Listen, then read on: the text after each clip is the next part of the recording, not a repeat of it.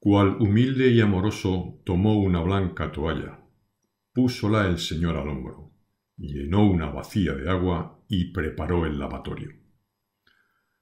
Púsose a los pies de Pedro el Señor para lavarlos.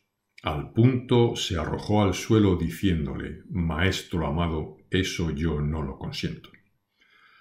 Eso de lavar los pies para mí, Señor, se queda. Soy un pobre pecador que vengo de baja esfera mas no vos, mi Redentor. Vos sois un Señor tan grande y yo, cual vil gusanillo, primero prefiero que antes sea de fieras comido que consentir que me laves. Le miró el Señor y dijo, Si no te dejas lavar, no me tendrás por amigo, ni menos podrás gozar el eternal paraíso. Al punto arrojóse al agua diciendo, Lava mis pies y todo mi cuerpo lava. Señor, aquí me tienes, vuestra voluntad se haga.